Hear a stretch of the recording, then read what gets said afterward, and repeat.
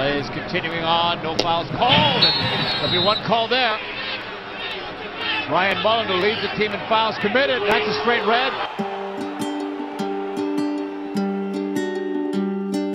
No, I mean I've seen it um, probably once properly, and uh, no replays or nothing. Just um, and it wasn't me going to watch it; someone was playing it, and I just happened to see it. So um, yeah, I mean I haven't really relived it. Um, the first nights in the hospital when you're on your own and the nurses leave and the doctors leave, that's all you can think of because you're trying to think um, what could have been done different and so forth. But um, since then, no, I'm getting further and further away. Now I'm at a place in the tunnel where I'm not looking back, I'm looking towards the light. So um, I can see the finish line's coming closer. At first, obviously, all the muscles die initially. Um, the quad dies, your hamstring dies, and all stuff. So the first five weeks just in hospital, just laying there, couldn't do much. And then once I got out, it's kind of gone a lot quicker. Um, was on crutches for a while, two crutches, then down to one crutch, then to no crutch at all. And then now start a little bit of jogging. Really like jogging. So it's just day by day. And the, the barometer really is the pain, how much pain I feel. If I can do a lot of things pain free, they're gonna push me. If there's too much pain, then we're gonna that's telling us to stop a little bit. So whatever I can tolerate, I can do.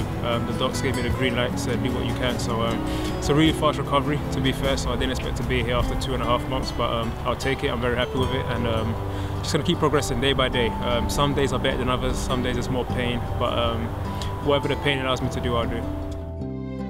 The mental side is tougher than the physical side because you want to play. I miss playing football. That's the number one thing. But part of me also knows that um, I'm young, I have a long career, so it's no rush. You just take it day by day, and um, I've been able to um, take a step back really and kind of reanalyze some stuff, and that's good. But I'm not replaying the injury. I don't want to do that. So um, yeah, that day's gone. I'm just moving forward towards my recovery date.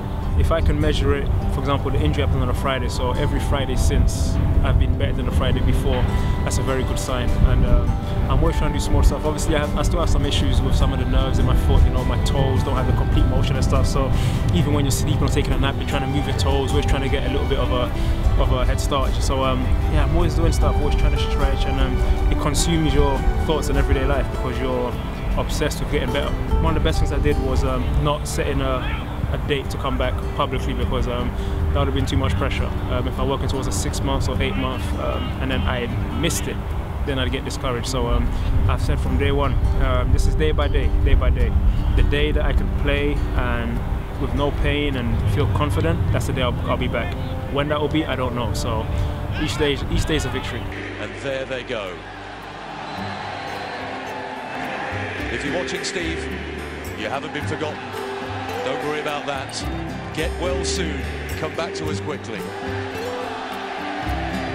I think obviously the big one everyone saw was um, the tribute and the number 11 signs in the 11th minute against Toronto. So um, that was obviously very moving, and uh, I've seen it on YouTube and stuff, and it's very moving. Um, to get messages still every day on Facebook from people and on Twitter and all kinds of stuff. And I see fans in the streets and Starbucks, in Target, and hey, Zakuani, get well soon, get better. And that encourages me. You know, we need you, we miss you. And so um, it definitely encourages me. And um, I use that as motivation because I definitely do want to play for this city again and play for this team again. I'm enjoying watching the guys, so um, I'll kind of be a fan for as long as I need to be, and then eventually one day I'll be back on the field, and then I'm looking forward to the day I run on Qwest Field again, or CenturyLink Field. So uh, they just changed the name. So when the fans stand up and clap, and I don't know if I come on as a sub or whatever, you kind of dream of that day, and then um, it'll be a very emotional day, and it'll make all these other days worth it.